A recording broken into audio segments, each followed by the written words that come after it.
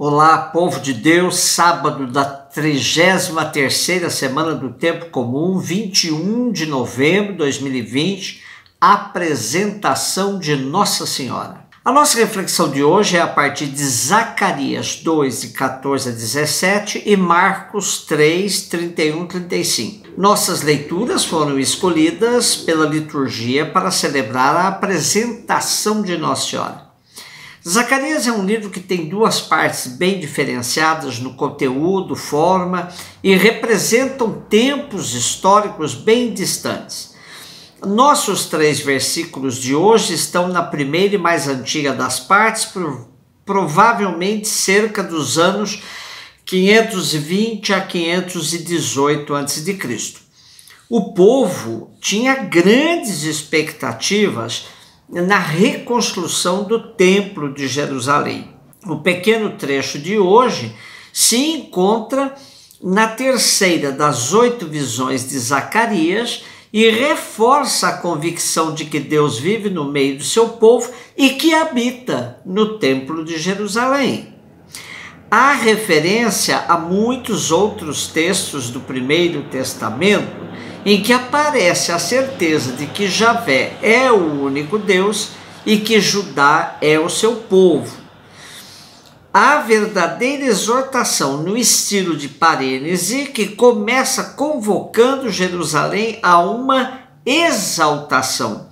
Rejubila e alegra-te, filha de Sião, porque eis que eu venho para morar no meio de ti essa referência bíblica quer nos levar a ver em Maria a real e primeira habitação do Senhor. É assim que foi escolhido esse texto.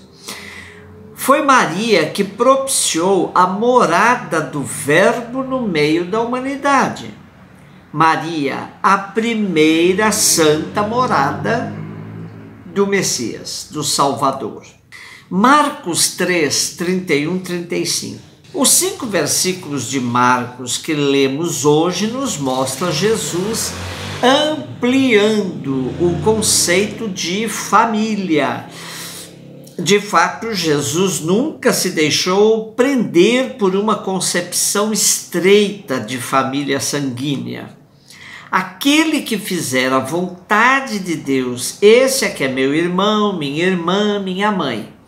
É claro que Maria se enquadrava perfeitamente nessa nova maneira de conceber a família expressa por Jesus, pois ela é testemunho daqueles que desde sempre fizeram a vontade de Deus.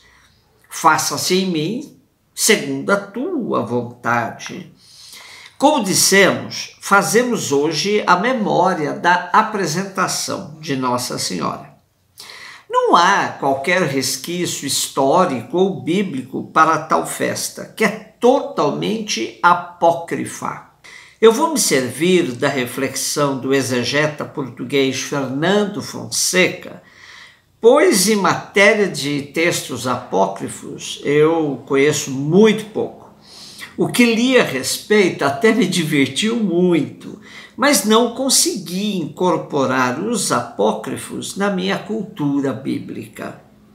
Diz Fernando Fonseca: a apresentação de Maria no templo não tem qualquer fundamento bíblico. São os evangelhos apócrifos que falam desse presumível acontecimento, mas é claramente provável que uma moça tenha sido confiada ao clero de Jerusalém num templo inacessível às mulheres.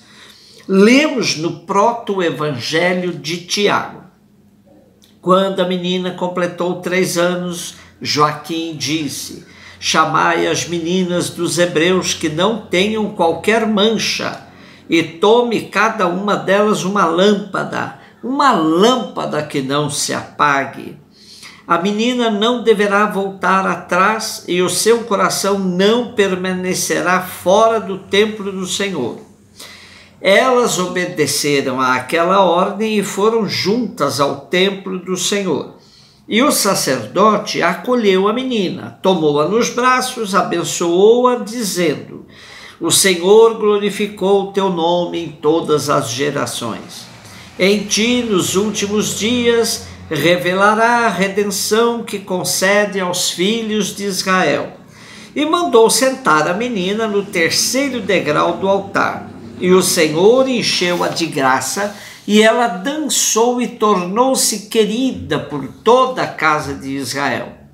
Os seus pais deixaram o templo cheios de admiração, louvando a Deus.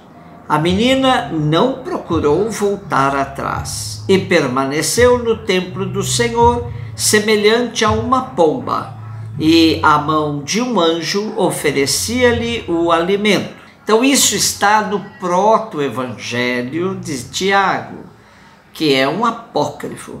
É tudo muito bonito, mas não tem uh, nem fundamento histórico, porque absolutamente improvável a apresentação de uma menina, de uma mulher no templo, entregue ao clero do templo. É, não tem fundamentação histórica alguma.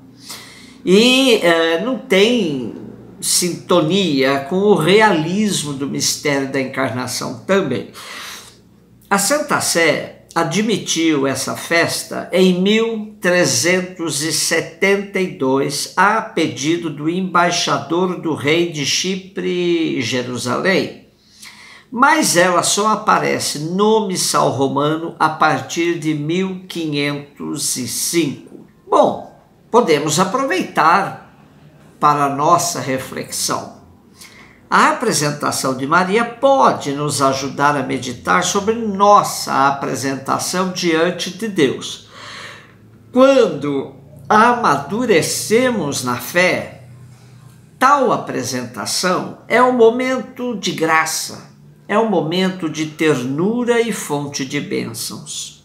Precisamos desenvolver um relacionamento com Deus como o filho, a filha que chega diante do pai e tem a certeza absoluta de que não está sendo julgado, mas amado e acolhido, amada e acolhida. Precisamos também ter na ponta da língua nossa resposta ao chamado amoroso do Pai. Eis-me aqui, envia-me.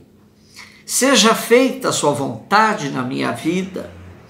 O que Maria soube fazer sem medida e com infinita confiança foi abandonar-se em Deus, aceitando o projeto de Deus para a sua vida. Então eu proponho para a gente concluir a nossa reflexão a oração do abandono do irmão Carlos de Foucault como manifestação da nossa confiança e disponibilidade diante do Pai. Meu Pai, a vós me abandono. Fazei de mim o que quiserdes. O que de mim fizerdes, eu vos agradeço. Estou pronto para tudo, aceito tudo, contanto que vossa vontade se faça em mim e em todas as vossas criaturas. Não quero outra coisa, meu Deus. Entrego minha vida em vossas mãos. Eu vou lá dou, meu Deus, com todo o amor do meu coração, porque vos amo.